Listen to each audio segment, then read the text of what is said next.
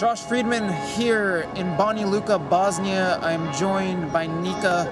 She's behind the camera at the moment and she will be providing commentary shortly. I hope you can hear me over these church bells. We are in the center of town in Banja Luka. This building right here is the president's office. It is not, though, the presidency of Bosnia. No, Banja Luka is the capital of Republika Srpska. It is an autonomous entity within the country of Bosnia and Herzegovina. In late 1995, as the Bosnian War was coming to an end, there was an agreement signed in Dayton, Ohio.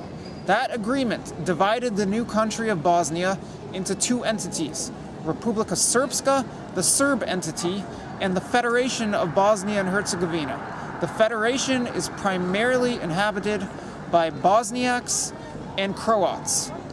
That agreement was signed in December 1995. We're coming up on the 20th anniversary of the Dayton Agreement, and things are still a little shaky here.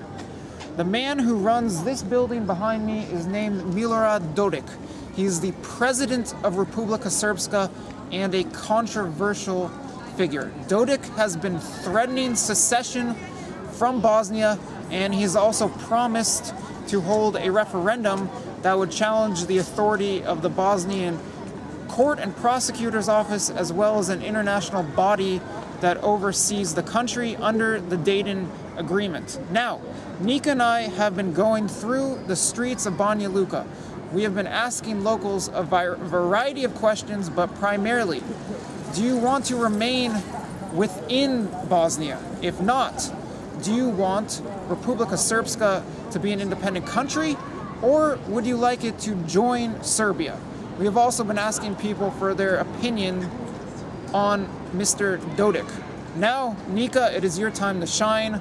I'm going to grab the camera and you're going to share with us what we've been finding around town. And first, I'll give you a little view of this Orthodox cathedral from which you just heard those bells. Uh, tell me a little about tell me a little bit about that well, cathedral to start. That cathedral is called the Christ the Savior Church. It's the oldest church is aged 500 years old. It was previously destroyed during the previous war and it's just finished its rebuilding and reconstruction. The same as the mosque around here, this church has exquisite history and really beautiful on the inside. I would recommend anyone who visits Banja Luka to take a peek at this wonderful church. Okay, thanks for the plug. Now let's talk politics.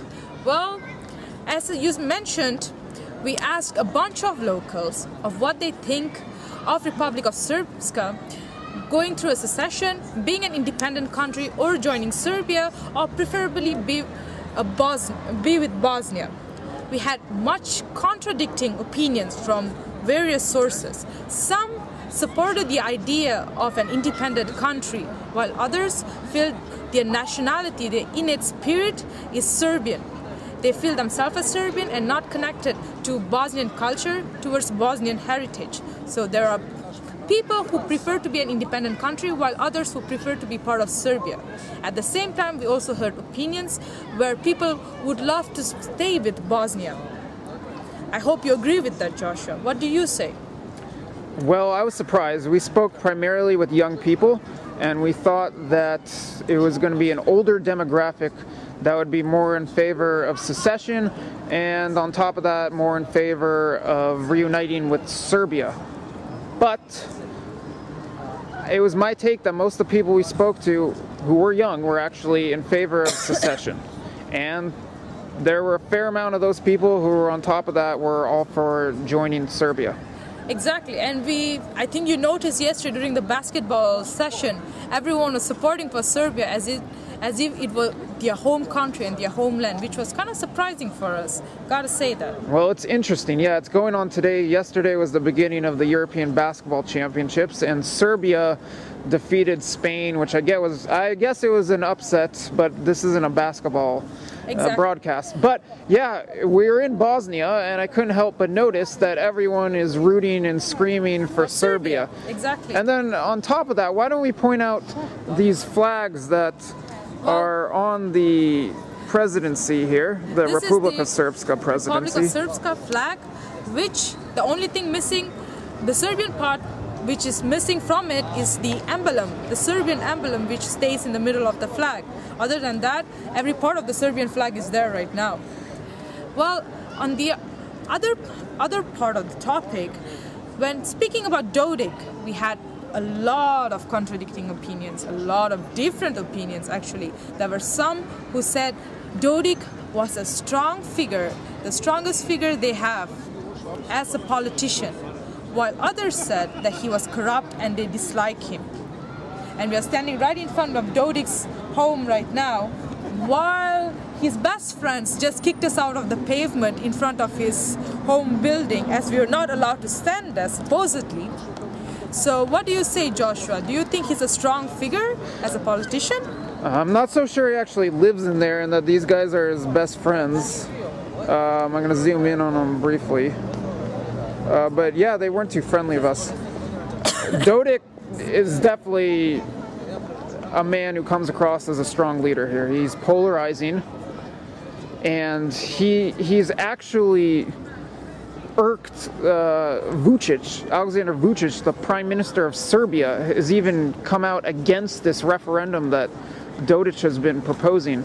So he he is a strong personality, a strong character, and very polarizing. The international community, being it mostly the West, is quite opposed to his agenda, while Russia is actually quite Supporting. supportive of him. So, so far this is what we figured out from Banja Luka, the Republic of Srpska. Next stop we are heading towards Sarajevo, the Federation of Bosnia. So there's going to be a whole new twist and a whole new different perspective there. So till next time, we'll come up with more surprises. Bye bye.